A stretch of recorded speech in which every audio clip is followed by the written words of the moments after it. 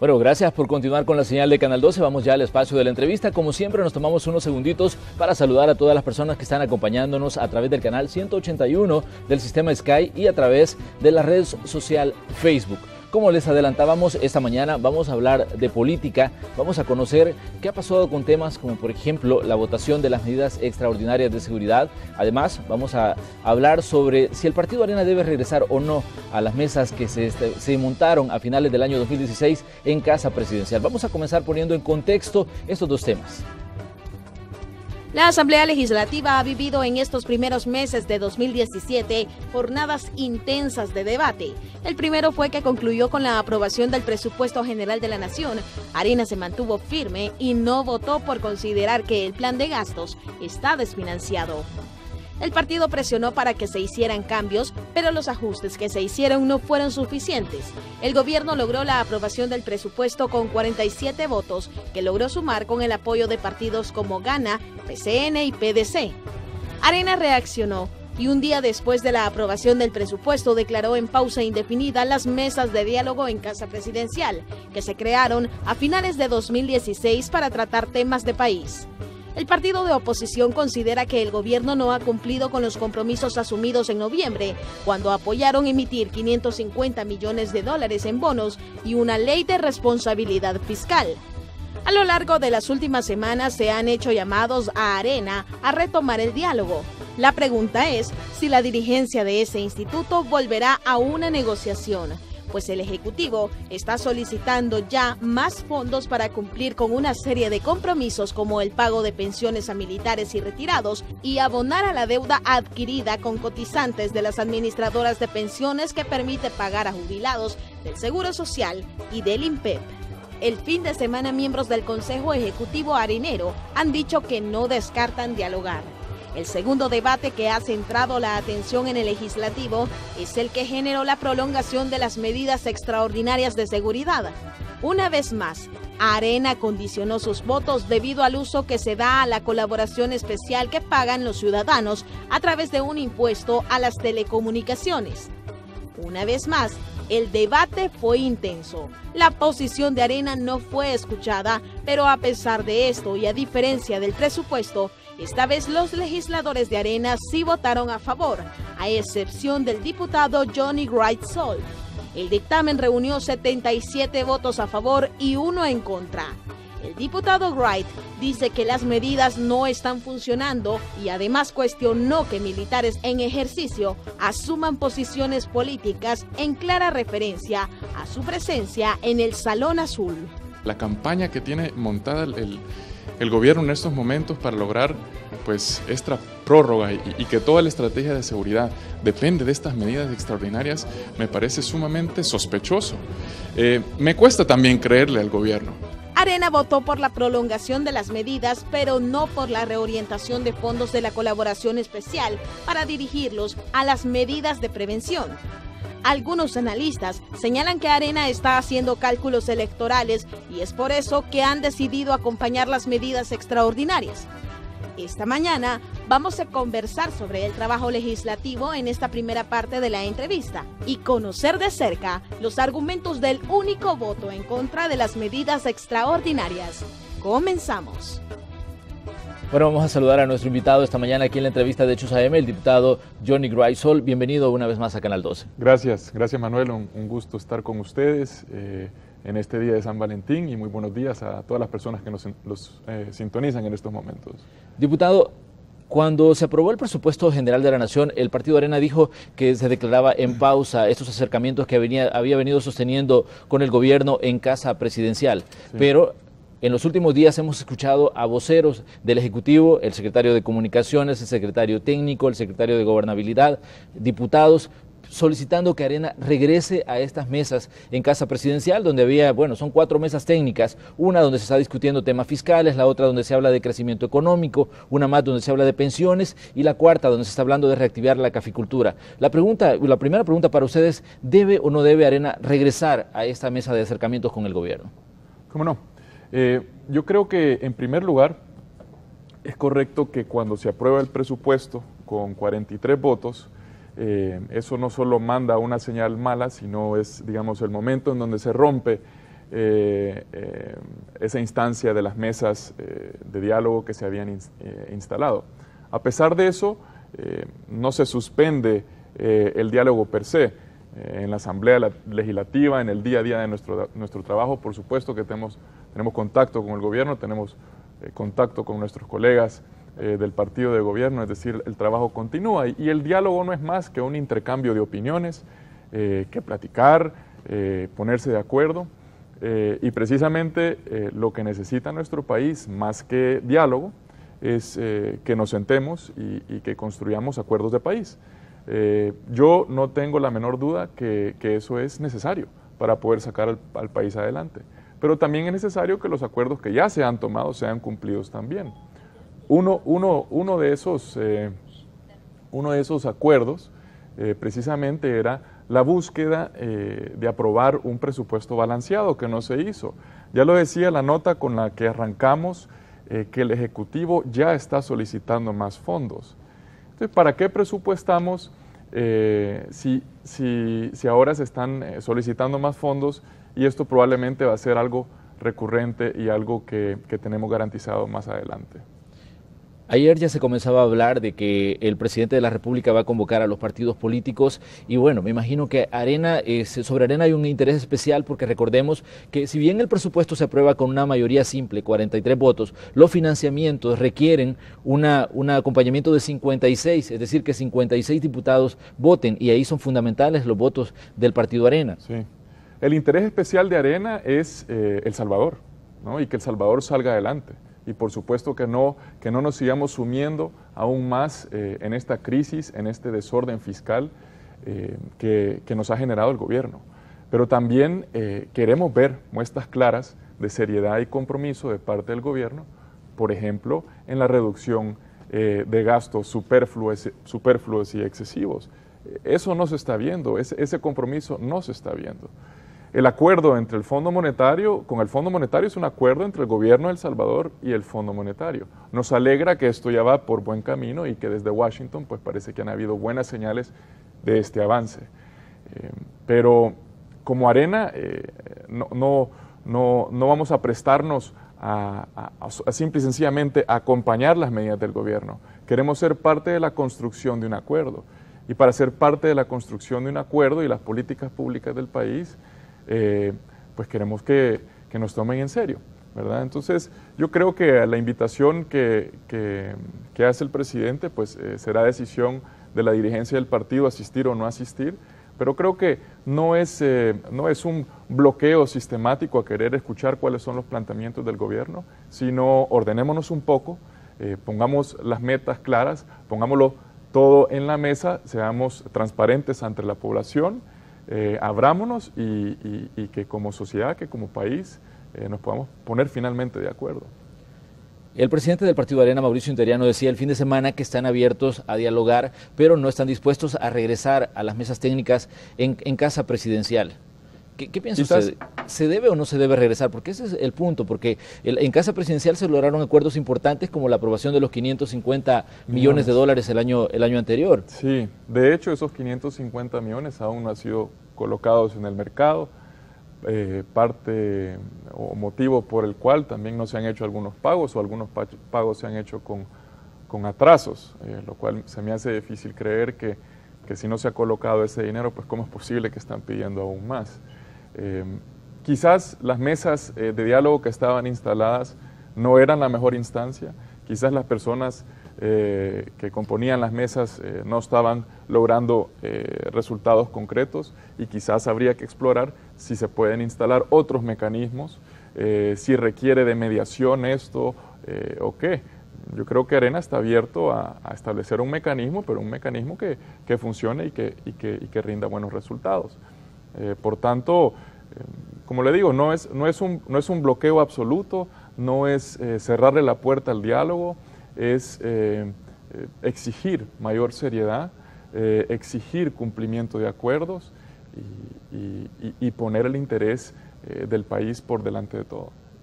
Está haciendo Arena un berrinche, como, como decían funcionarios del gobierno, al, retirarse de las mesas de diálogo, porque decían de que incluso acá eh, funcionarios del gobierno calificaron de, falta de madurez, decía levantarse de las mesas solo porque no estaba de acuerdo en la forma en que se estaba manejando los temas. Yo creo que cuando no hay un, un acuerdo, cuando no logramos soluciones en favor de la población, la culpa no es de uno o de otro, eh, la culpa es de todos. Eh, por lo tanto, creo que aquí hay responsabilidad compartida. Ciertamente, Arena tiene un grado de responsabilidad eh, y el gobierno tiene otro grado de responsabilidad. Eh, y, ambos han puesto condiciones para llegar a la mesa de diálogo, pero yo veo que no es, no solo se trata de que un lado acceda al diálogo, se trata que las dos partes vamos a tener que tomar decisiones difíciles, vamos a tener que compartir costos políticos importantes, pero tenemos que tomar decisiones. Pero Arena está asumiendo la parte de, responsabilidad que le corresponde. Arena ha denunciado muchísimo del, eh, muchísimo del, eh, del incumplimiento del gobierno, ¿no? Y Arena ha puesto sus condiciones para, para volver a, a, a sentarse. Pero, hombre, yo creo que, que estamos caminando hacia, hacia la posibilidad de buscar acuerdos. O sea, no, no, hay que, eh, no hay que cerrarse. Yo no creo que nadie está haciendo, nadie está haciendo berrinche. Eh, estamos exigiendo como, como oposición que se nos tome en serio y que, y que seamos realistas, eh, que seamos serios y, que nos pongamos a trabajar. Bueno, pero revisemos alguna, algunas situaciones que ocurrieron, digamos, en, en los acuerdos del año anterior. Sí. Se logra, digamos, este, un punto de consenso y se emiten 550 millones de dólares en bonos. Se logra además acuerdos para aprobar una ley de responsabilidad fiscal. En ese momento, tres diputadas del Partido Arena dijeron que no votaban porque el, el, gobierno simplemente no cumplía lo que se suscribía. A, mí me gustaría saber, o sea, ¿qué piensa usted de la decisión que tomaron esas diputadas en ese momento y cuál ha sido el trato hacia ellas? Porque se separaron en determinado momento del partido diciendo que no estaban de acuerdo con lo que se había, digamos, establecido en casa presidencial y precisamente no estaban de acuerdo porque no cumplía, que es lo que Arena ha venido reclamando en, estos últimos días a raíz de, todo lo que ha ocurrido con, este, con estas mesas técnicas. Sí, bueno, mis colegas, eh, yo no le diría que se separaron del partido, se diferenciaron de la postura oficial del partido, pero, pero en ningún momento se han separado. Yo respeto. No, se separaron de la línea, digamos. de la línea. Y respeto muchísimo la, decisión que tomaron. No lo hicieron de forma rebelde, sino justificaron su, su accionar, su razonamiento, que se basaba fundamentalmente en la desconfianza eh, que había con el gobierno. De hecho, ya, ya había o ya han habido precedentes en donde eh, se han logrado acuerdos de naturaleza fiscal y no se han cumplido. Y precisamente esto es una, una bola de nieve que se va haciendo cada vez, cada vez más grande. Por lo tanto, creo que,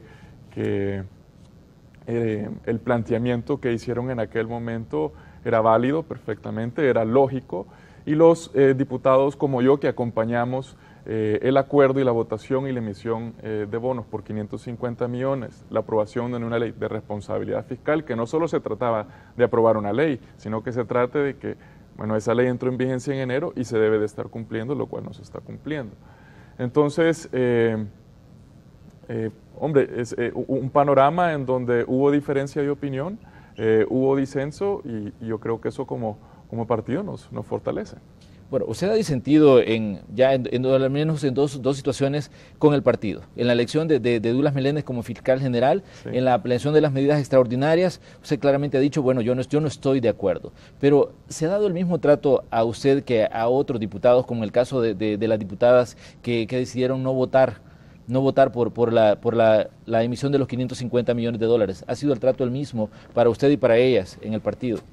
Pues em, la verdad es que nunca me he puesto a, evaluar eh, el trato que he recibido yo y compararlo con el trato que, han recibido otras personas. Em, yo, creo que, yo creo que ha sido el mismo. Uno cuando, cuando toma la decisión eh, de votar diferente eh, y de hecho cada vez que uno marca en su curul, en, en cada votación, cada dictamen, pues pues el diputado que está marcando es el máximo responsable por la decisión que está tomando, la debe de poder defender, justificar y saber exactamente qué es lo que se está, qué es lo que se está votando. Por supuesto que en la Asamblea Legislativa, en donde el trabajo es amplio, eh, hay mucha comisión, eh, pues dependemos del trabajo que hacen otros colegas y, se delega y, se reparte el trabajo y, tomamos decisiones colegiadas en, el seno de nuestro grupo parlamentario. Pero a veces no nos logramos convencer y, y, pesa más sobre el diputado la responsabilidad que tiene, lo que le están diciendo sus votantes, lo que le está diciendo la población que lo apoya, y uno pues al final del día toma una decisión. Yo creo que aunque esto es una dinámica diferente, atípica, eh, creo que es algo bueno para la democracia, creo que el disenso es muy valioso. Eh, a pesar de eso, también eh, la disciplina partidaria también es, es, un tema de importancia también. Pero, pero no, no, no, seríamos democracia si no habrían opiniones contrarias.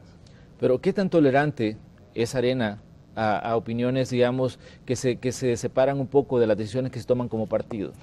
Depende, hay personas tolerantes y hay personas no tan tolerantes. Yo creo que Arena está en un proceso de transición, está en un proceso de transformación.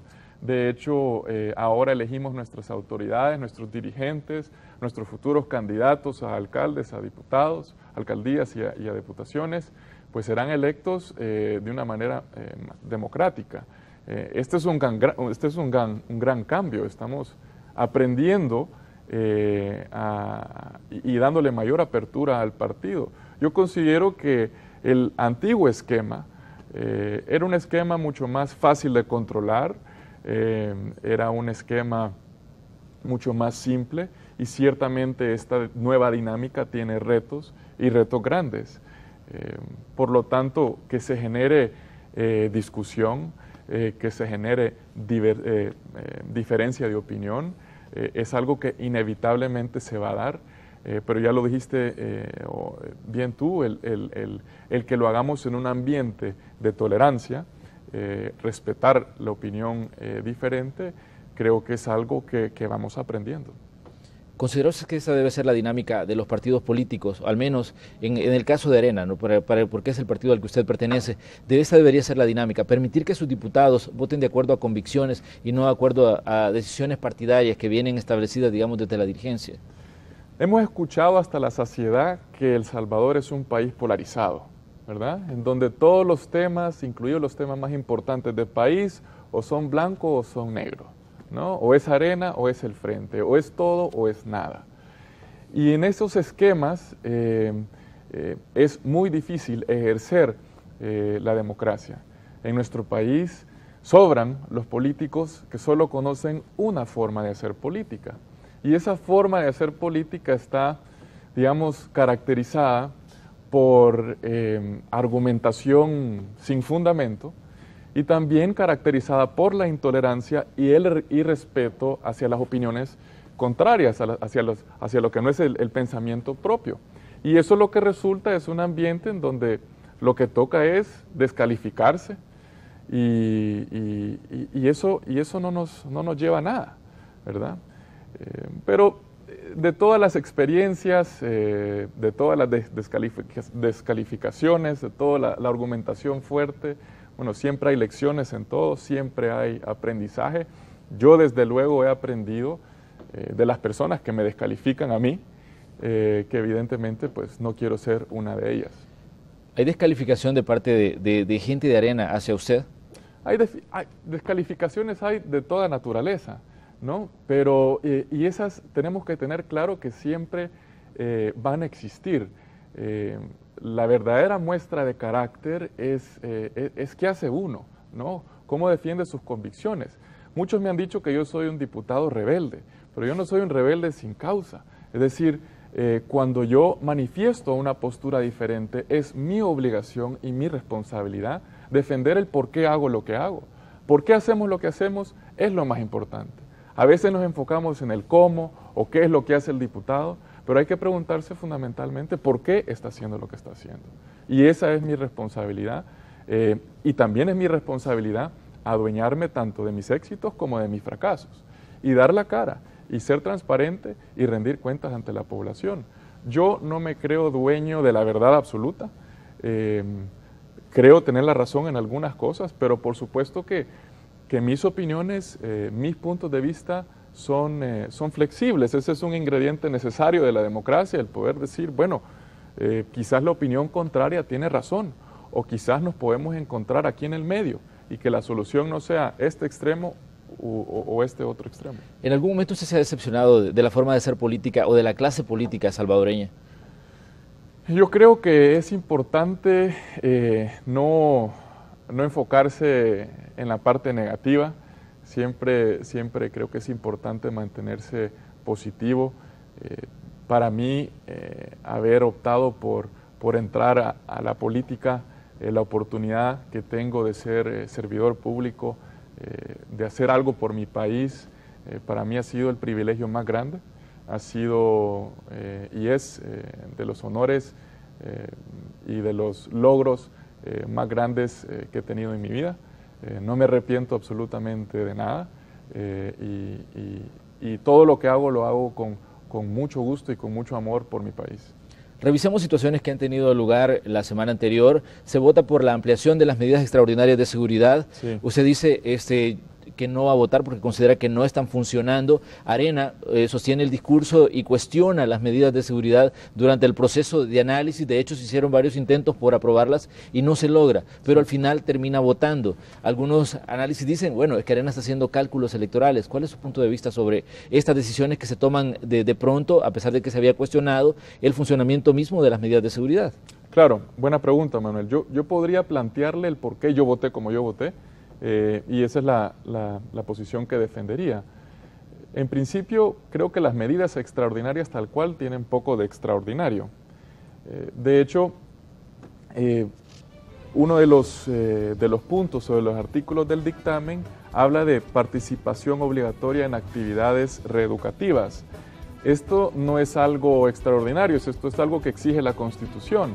Y a mí me gustaría saber si estas medidas de qué forma han tenido impacto eh, en algún cambio de algún, de algún privado de libertad, de algún pandillero, si han, han logrado eh, cambiar algo, si ha logrado tener un impacto. Y eso es lo que no se ha visto y no se ha justificado ni se ha explicado de forma coherente, de forma transparente, es la efectividad de estas, de estas medidas. También considero que medidas extraordinarias se ha convertido en la retórica, la demagogia típica de un gobierno populista eh, que, que que hace mucha comunicación, eh, pero en la acción, eh, en el día a día, no vemos que estamos viviendo en un país más seguro. Cada vez son más las deserciones escolares, cada vez son más los salvadoreños que salen de nuestras fronteras. Y no es eh, plantear un esquema tan negativo en donde no hay solución. Lo que yo veo es una falta de prioridades. Yo creo que realmente sería extraordinario que se invierta, por ejemplo, en el sistema educativo como se merece. Vamos a hacer una pequeña pausa comercial y al regresar vamos a hablar de situaciones que tienen que ver ya con el funcionamiento del Partido Arena. Se eh, nombró a miembros de la juventud el fin de semana. Los partidos políticos están calentando motores ya para el proceso electoral que va a tener lugar el 4 de marzo de 2018. Con eso regresamos.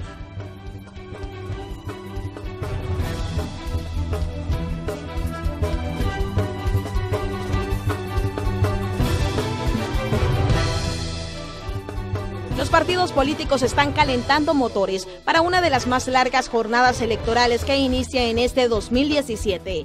Este es el año que allanará el camino para los comicios del 4 de marzo de 2018 y las presidenciales de 2019. El partido Arena juramentó el fin de semana a sus líderes juveniles, con los que busca conquistar a los 500 mil nuevos votantes que tendrá El Salvador en los comicios del próximo año. Y es de recordar que el 4 de marzo El Salvador elegirá 84 diputados y 262 consejos municipales. Nuestras elecciones internas reflejarán la transformación que está viviendo Arena. Las puertas de la juventud están abiertas, las puertas del partido están abiertas. Pero más allá de los discursos, surgen preguntas como, por ejemplo, ¿qué tanta libertad para expresarse tienen los jóvenes en las filas de los partidos políticos como Arena ¿Qué tan dispuestos están los políticos tradicionales a darles espacio a las ideas de las nuevas caras políticas? ¿Qué tan real es el relevo generacional en la política salvadoreña? Y una pregunta más que surge es, si se tienen ideas diferentes, ¿no se corre el riesgo a ser bloqueado o minimizado dentro del mismo partido? Previo al evento que tuvo el fin de semana el Partido Arena, salió a la luz una carta de un columnista donde pone en duda los cambios de la dirigencia hacia la juventud arenera. Señala aspectos como por ejemplo que todo lo que publiquen en redes sociales debe pasar por el ojo del Consejo Ejecutivo Nacional y que el presidente del partido ha sido claro respecto a que hay una línea de trabajo y que no deben ir en contra de la corriente. El columnista se pregunta si buscan que los jóvenes no se vuelvan rebeldes, independientes y críticos. Esta mañana vamos a conocer el punto de vista de nuestro invitado sobre este tema. Continuamos con la entrevista de hoy. Bueno, antes de entrar de lleno al tema, al tema de, interno del partido, me gustaría conocer su opinión sobre otro tema que tiene que ver con la Asamblea Legislativa. Ayer el Tribunal de Ética Gubernamental impuso una multa de 6 mil dólares al diputado David Reyes por el uso de, de un vehículo de la Asamblea Legislativa. Recordemos que esto fue lo que ocurrió allá por agosto. ¿Qué opinión tiene usted de esta situación que ha ocurrido ahí? Porque Arena siempre ha cuestionado el uso que se hace de los recursos del Estado y bueno, y uno de sus diputados se ve involucrado en este tema. Sí, bueno, yo creo que mi colega David Reyes fue muy claro, él reconoció que cometió un error eh, y pues ahora le toca eh, pagar por su error. Eh, no, no, creo que hay que buscarle mucho lado y, y, así las cosas. Y así debe ser, así debe ser. Debe de haber rendición de cuentas, debe de haber responsabilidad y, creo que, David lo ha manejado con, la mayor responsabilidad, reconociendo que, que cometió el error y estoy seguro que no volverá a suceder. Ahora bien, eh, hablemos de, lo que está pasando en Arena. Ah, yo le preguntaba antes qué tan tolerante es el partido y, qué tantas oportunidades tiene la gente joven de, digamos, de, abrir su propio camino y de hacer valer sus opiniones dentro de ese instituto. Bueno, como, como ya lo hablábamos anteriormente, eh, hay una nueva dinámica dentro del partido político y ojalá dentro de todos los partidos políticos, que es esta eh, apertura eh, y, mayor democratización de los procesos de elecciones y toma de decisiones en el partido. me alegra mucho ver la, la, cobertura que le dio Canal 12 al evento del domingo de la nueva directiva de la juventud de nuestro partido y los nuevos directores departamentales. Se está renovando la estructura de la juventud y, y me llena de mucha esperanza. Me llena de mucha esperanza ver el compromiso de estos jóvenes, eh, algunos de ellos eh, habían sido en su momento críticos del partido y ahora han decidido sumarse, han decidido dejar de ser espectadores y, entrar en la política. Muchos de ellos quizás no tengan ni siquiera aspiraciones de convertirse en político, algunos de ellos estudian en la universidad, eh, ya han iniciado sus carreras profesionales, es decir, hay una gran diversidad de conocimiento, de inteligencia, de compromiso y sobre todo un denominador común de todos los jóvenes eh, es esa vocación de servicio, de querer hacer algo por el país. Yo creo que aunque, eh, aunque hay una clara convicción de transformar el partido, creo que la visión de estos jóvenes va más allá del partido, es una visión de país tan evidente eh, en, el, en, el, lema que han adoptado, Seamos País. Y lo que le están diciendo a la juventud, lo que le están diciendo a la sociedad salvadoreña, es que es, que es hora de hacer país. Pero se puede hablar de, relevo generacional en un partido donde vemos que las bancadas se han mantenido eh, por muchos años. Hay gente ahí que tiene quizás este, 20, 25 años en la, Asamblea Legislativa. Sí, bueno, la, renovación política es, eh, eh, es algo que se da a veces de forma acelerada, a veces eh, de forma gradual. Eh, la gente que ha persistido en la política ha persistido porque ha logrado el voto de las personas. O sea, si tenemos el panorama que tenemos es precisamente porque así lo ha querido la población salvadoreña y dependerá de la población salvadoreña qué tipo de líderes, qué tipo de políticos eh, se eligen en el futuro. Hay personas que, tienen larga trayectoria, pero esa larga trayectoria, esa larga trayectoria la han trabajado, ¿verdad? no se puede decir que están ahí por accidente. Pero ¿considera usted que se debería establecer plazos para, digamos, cuánto tiempo puede estar una persona en un órgano de Estado como la Asamblea Legislativa? Bueno, creo que el partido de FMLN, por ejemplo, tiene un plazo de, tres, periodos. Eh, yo creo que eso es algo muy sano para un partido político y es algo que podría explorar Arena. Eh, yo creo que la transición, eh, el relevo en una democracia es, es sano para para el sistema y, es algo, algo que veo con, buenos ojos. Bueno, ya que estamos hablando de liderazgos, me gustaría que, me diera su evaluación sobre la forma que está siendo conducido Arena en este momento. ¿Cómo ve usted el, nuevo Consejo Ejecutivo Nacional y bueno, y quién está a la cabeza, en este caso Mauricio Interiano? Bueno, yo creo que eh, hay que medirlo eh, en base no a lo que se dice, sino a lo que se hace. Y, creo que el evento del domingo es, es, un, es un, paso importantísimo. Eh, creo que en lo que yo tengo de ser arenero y de tener memoria del partido Arena, finalmente se le está poniendo el énfasis, la energía y el empuje a promover el sector de la juventud en nuestro partido o por lo menos eh, que vuelva a tener esa, eh, relevancia e importancia que en, algún momento lo tuvo. Yo creo que eso es, una muestra eh, y una apuesta clara de la nueva dirigencia. También la, nota del inicio hablaba de, que el padrón para estas próximas elecciones va a cambiar y va a cambiar a mi criterio de forma positiva. 500 mil, medio millón de jóvenes entre 18 o 20 años van a ingresar al, al padrón, van a, van a poder votar. Un reto importantísimo no solo es cómo convencer a estos jóvenes, sino también eh, lograr que, ese apoyo al final eh, termine en, un voto, ¿verdad? porque muchas veces el, joven es, em, se, habla o se dice que el joven es apático, que es idealista y que no vota. Yo creo que los partidos políticos eh, eh, no han hecho eh, el, trabajo necesario para poder hablarles. Precisamente eso es lo que, lo que le quería preguntar, si Arena está haciendo las apuestas pertinentes para lograr conquistar el voto joven, porque si vemos los sondeos que se publican sobre la situación de, los partidos políticos en este momento, se caracteriza por una pérdida de credibilidad. Sí, ese es, bueno, ¿Cómo hablarle a un joven? Yo creo que la forma más efectiva para hablar a los jóvenes es que sean los mismos jóvenes. ¿Quién, quién mejor entiende sus necesidades, quién mejor entiende eh, eh, los métodos que utilizan para comunicarse. Obviamente eh, nuestra generación está conectada, pasamos en nuestros teléfonos todo el día, en el Facebook, en el Twitter, mandando mensajitos de WhatsApp.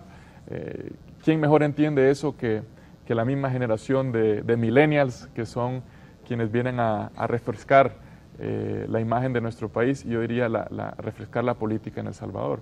Por tanto, creo que la forma de llegar eh, a, esos, a esos votantes, la forma, y, no, solo, no solo verlo desde el punto de vista electoral, o sea, eh, la juventud es El Salvador, es, nuestra, nuestra realidad, tenemos, son el segmento más amplio de la población y el más golpeado por la falta de oportunidades, el más golpeado por la violencia y la delincuencia. Eh, y, que desafortunadamente las únicas eh, o las pocas oportunidades que tienen las tienen fuera de El Salvador. Eh, por tanto, yo creo que la forma es apoyar de pleno a, la juventud en nuestro partido. Bueno, escuchaba declaraciones que usted daba en las últimas horas y hablaba de, su intención de, buscar la reelección tal vez, que, nos fundamente esa decisión y, bueno, que, nos explique eh, cómo, cómo llega al, digamos, a, ese convencimiento de, continuar en política en El Salvador.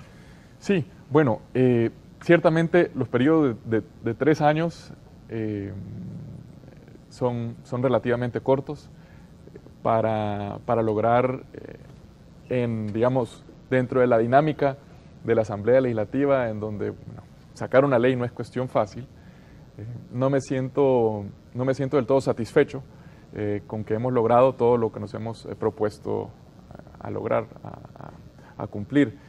Entonces, eh, mi intención es, seguir trabajando en eso, seguir trabajando en mi, trabajo legislativo. Obviamente depende de que los votantes, los electores dentro del mismo partido, las, las, internas, pues, pues resulte electo, pero pero yo voy eh, en ese camino, yo quiero continuar sirviéndole a mi país y creo que eh, el camino que, veo más eh, es continuar en la Asamblea Legislativa.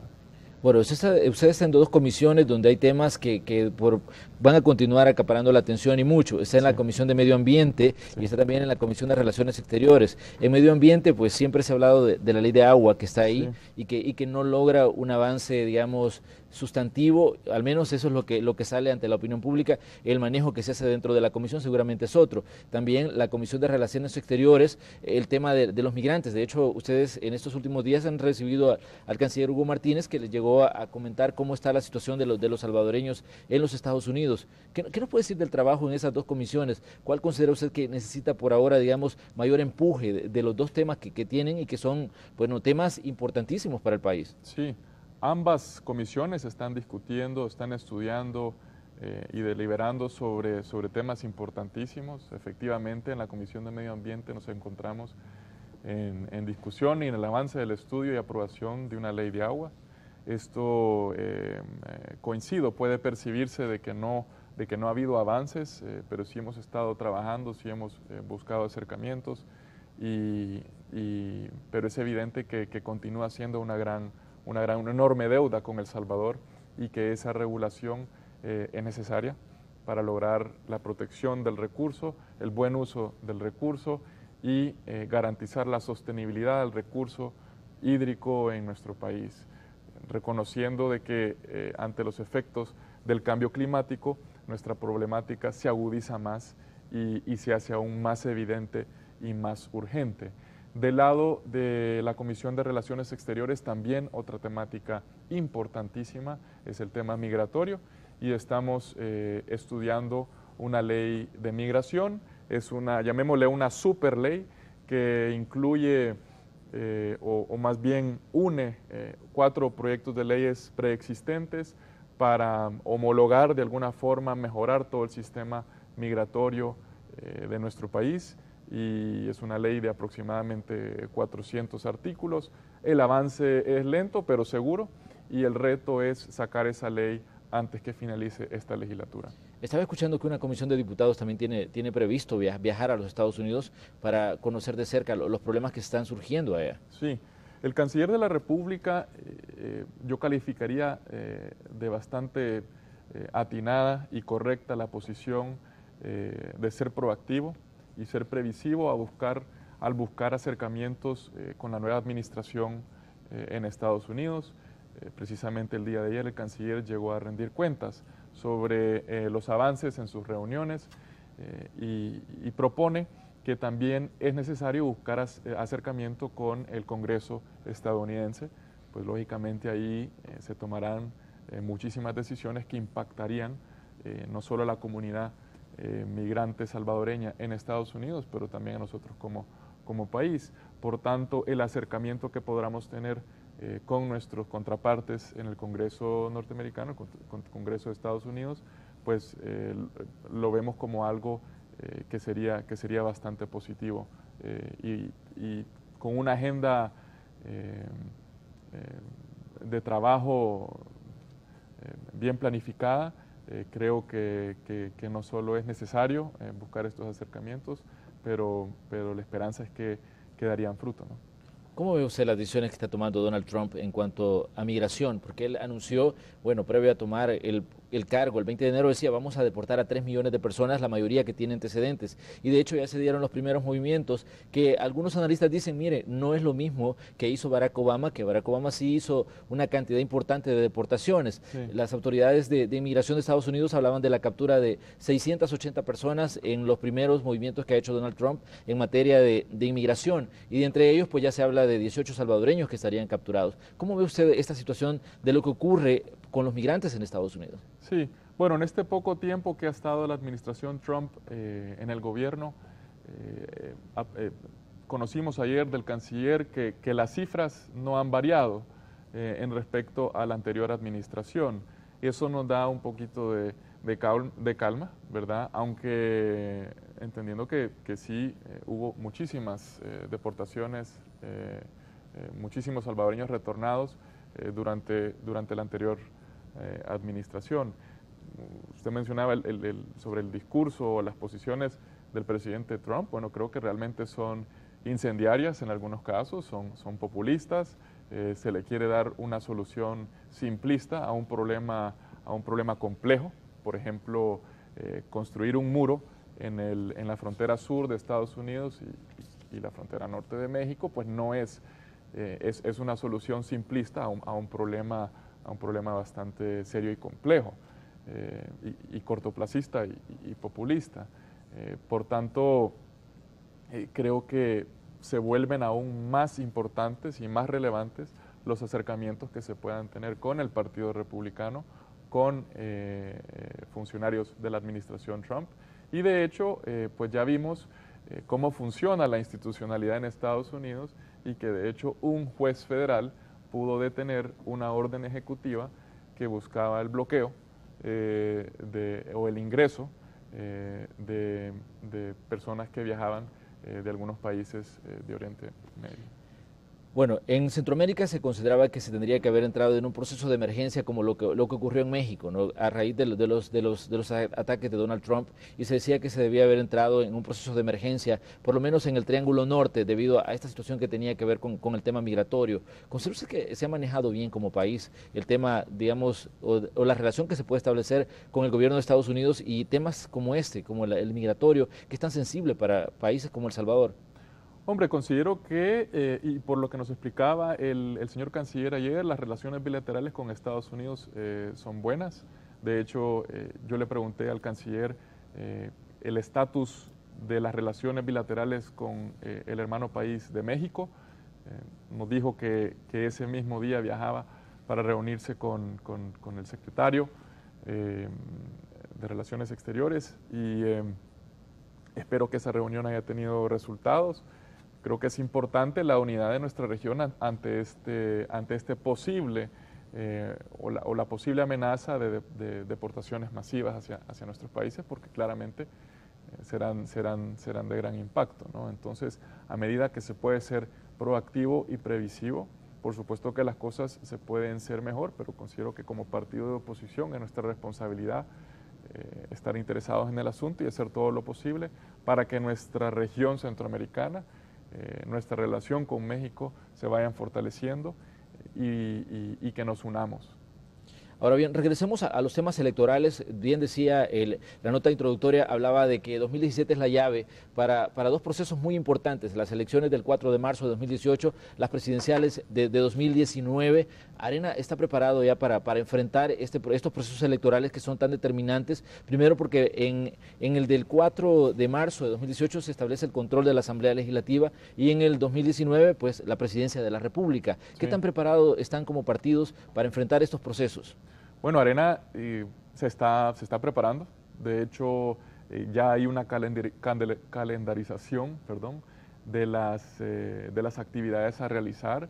Eh, se, han puesto, se han puesto metas. Es un trabajo complejo, es un trabajo que no deja de ser complicado.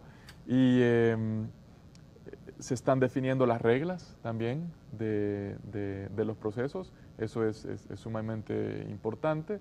Y, pues yo diría que vamos, vamos viento en popa. Esto no dejará, dejará de ser eh, una especie de, aprendizaje. Ya tenemos eh, alguna experiencia de la elección interna de la cual yo fui parte, que fue parcial.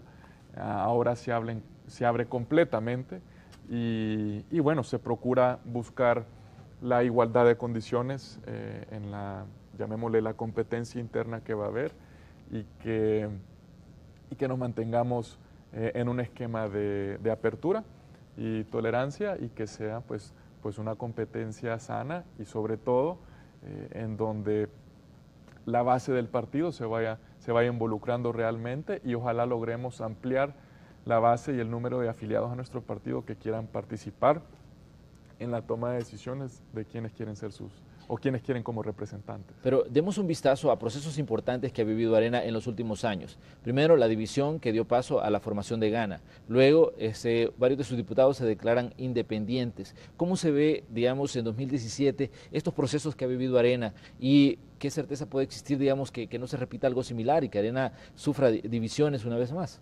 Yo no creo que lo que sucedió en aquel momento fue una división, sino más bien una depuración ¿verdad? En donde personas eh, corruptas, ¿verdad? Se fueron por razones equivocadas del, partido, pero, pero eso fue más bien una, una depuración automática, digamos, eh, de personas que definitivamente no tenían los mismos principios eh, que, tenemos en Arena, ¿no? Y, siempre se ha cuestionado las razones por las cuales se dio eso.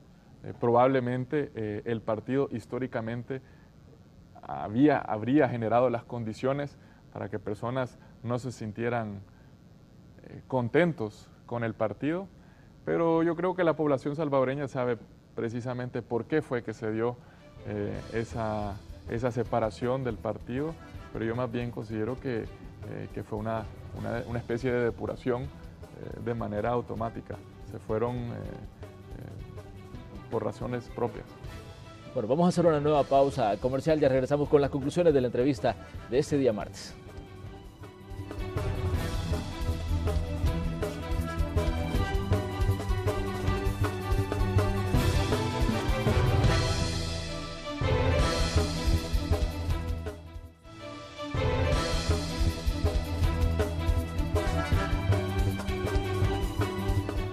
Ya en la recta final del espacio de la entrevista de Hechos AM correspondiente a este día martes 14 de febrero. Nuestro invitado, el diputado Johnny Gray Sol, por el Partido Arena. Estamos hablando sobre situaciones que tienen que ver con el trabajo legislativo y situaciones también que tienen que ver con el partido en sí, el manejo interno que se hace en este instituto político.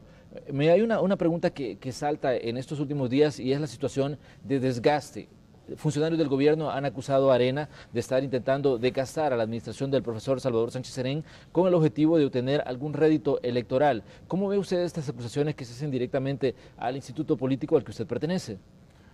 Hombre, es evidente, todas las encuestas lo dicen, que los partidos tradicionales han, perdido terreno y que están en sus niveles más bajos y que hay un tremendo desencanto con la política salvadoreña. Eh, de hecho, el número de de, ciudadanos que no se identifican ni con un partido ni con otro y que, y que constantemente lo que viven pidiendo es que las partes políticas lleguen a acuerdos, eh, que se moderen, eh, que, cedan eh, y, que, y, que, y que desistan tanto de esas aspiraciones por el poder o querer aferrarse al poder y que empiecen a, trabajar por el, por el bien de, del Salvador. O sea que como, como lo dicen los jóvenes, ya es hora de, ser país. Eh, por tanto, yo veo eh, un panorama político en donde los partidos políticos, por obligación, tienen que abrirse, por obligación tienen que, si a lo mejor antes se podrían dar el lujo eh, de pregonar una ideología exclusiva, cerrada, pues ahora tienen que modernizarse y hablarle a esa nueva audiencia, a esa nueva audiencia crítica, a esa generación de jóvenes escépticos que no creen en la política y hay que, bueno, el reto es, hay que hacerles creer. Eh, y yo creo que esto se logra dignificando el servicio público, ¿verdad? Eh, a mi forma de verlo, la política no es, no es una profesión, eh, es una vocación y servirle a la sociedad eh, ser servidor público, ser funcionario público, velar por los intereses de todos los salvadoreños es una enorme responsabilidad, pero es un gran privilegio eh, y es una gran labor, una labor necesaria. Y lo que se debe de, procurar es atraer al mejor talento que tiene que ofrecer nuestro país a la función pública. Queremos y necesitamos a las mentes más brillantes eh, sirviendo y trabajando por su país lo que sucede hoy por hoy eh, es que eh, el, talento eh, se queda en el sector privado, se va del país y muy pocos quieren involucrarse en política por, por las razones obvias y, esos miedos y esas inquietudes son válidas. Pero yo los invito a, que, a que demos el paso, a que nos involucremos más, a que participemos, siquiera con, con afiliarse a un partido y, probar y, definitivamente, hombre, yo creo que los salvadoreños somos, somos muy opinados, eh, nos gusta hablar de política, si lees los periódicos, eh, si ves los noticieros eh, y las entrevistas, siempre somos los políticos, en el mayor de casos los invitados. Yo creo que hay que darle mayor realce a la sociedad civil, hay que invitar a la participación y, eso, y eso empieza con con la apertura y la democratización de los partidos políticos y me alegra mucho ser parte del partido político que más ha asumido ese reto. Se habla mucho de, apertura de espacios, pero la, pregunta es, ¿qué tanto Arena está dispuesto a abrirle espacio a los jóvenes? Si bien, de hecho, eh, citábamos nosotros al columnista que publicaba una carta a la, a la, joven a la juventud de Arena y le decía que no se dejaran cortar las alas debido a situaciones que supuestamente han, estado ocurriendo dentro. ¿Qué tanto Arena está dispuesto a abrir, digamos, sus espacios a las nuevas voces de salvadoreños que por ahora se mantienen apáticos a participar en política? Yo creo que esa decisión para Arena y para todos los partidos políticos es cuestión de vida o muerte, ¿verdad? Si se quiere ser un, país, un, partido que, que, crece, que, que, logra ser mayormente inclusivo y que, y que logra atraer a todo ese segmento de la población que está completamente desencantado con la política, pues, eh, pues les va a ir bien. Pero si se quiere continuar eh, haciendo lo mismo, eh, pues yo creo que eh, el, fracaso eh, está, está más, que, más que esperado. ¿no? Entonces, yo, yo, creo que la apuesta es clave, ¿verdad? La decisión de transformar el partido, de renovar el partido, yo la veo como una decisión que se ha tomado en serio, que va por buen camino y no hay que dar marcha atrás. Esto no quiere decir que no va a ser fácil, esto quiere decir que no van a haber discusiones fuertes, que no van a haber diferencias de opinión, eh, pero la importancia de, mantenerse eh, tolerantes eh, se, vuelve, imperativo para poder lograr buenos resultados. yo, yo, yo creo que esa, debe ser la apuesta de nuestro partido, esa debe ser la apuesta de nuestro país, a poner de a, un, a un lado nuestras diferencias, de romper con ese esquema de polarización. Eh, no es cierto que somos unos contra otros, no es cierto que aquí hay, eh, o sea, si vamos a trabajar sobre una, sobre una cultura de paz, empieza por una decisión personal de cada quien, de, de verdaderamente ser tolerante, ser respetuoso, eh, y querer algo mejor para El Salvador. Johnny, pero ¿qué piensa usted de que aún en 2017 se siga achacando parte de los problemas que tiene El Salvador hoy a las administraciones del Partido Arena, a los 20 años del Partido Arena que, han sonado en procesos electorales, han sonado en discursos y siguen hoy apareciendo incluso en, en las discusiones y en los debates en la Asamblea Legislativa?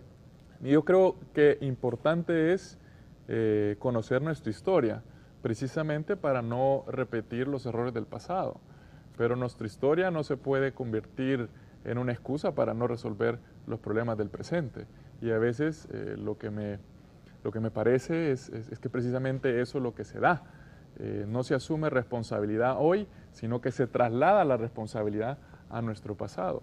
Hombre, hay que, yo estoy claro, hay que conocer todo lo que, lo que se hizo bien y lo que se hizo mal en el pasado, pero nuestra mirada debe estar hacia adelante eh, siempre. Ahora bien, ¿cómo ve usted el trabajo legislativo en esto, en lo que resta del periodo? Vienen debates intensos por situaciones diversas. Ya vimos que allá hay una primera petición de fondos en este 2017. ¿Cómo ve usted las situaciones que se avecinan y las decisiones que tienen que tomar como partido en un órgano como la Asamblea Legislativa? Sí, eh, precisamente vamos entrando a un periodo difícil, porque no le voy a mentir, vamos a entrar a, un periodo electoral y digamos que la inclusive eh, se tiende a perder hasta la cordialidad en esos momentos. Eh, eso combinado con, una necesidad de lograr acuerdos importantes, eh, pues casi como que se vuelve un poco en una especie de tormenta perfecta. pero si hay voluntad política, podemos salir adelante. Si hay sensatez, podemos salir adelante. Y si ponemos a un lado nuestra férrea defensa ideológica eh, y, somos un poco más pragmáticos, un poco más realistas. Vamos trabajando gradualmente, construyendo ladrillo por ladrillo, no, no destruyendo lo que hizo uno o, descalificando, sino que nos, nos proponemos a trabajar de esa forma, yo creo que podemos, podemos sacar el país adelante. Bueno, Johnny, le queremos agradecer que haya venido a conversar con nosotros sobre estos temas que, tienen que ver con el trabajo legislativo y también con situaciones que están ocurriendo en Arena. Gracias por habernos acompañado en la entrevista de Chusaem. No, el agradecimiento es para ustedes. Gracias por el espacio, por la invitación. Ha sido un gusto compartir esta mañana. Bueno, vamos así a cerrar el espacio de la entrevista correspondiente a este 14 de febrero. Les invitamos a que continúen con Canal 12 porque ya venimos con la segunda parte de Noticiero Hechos.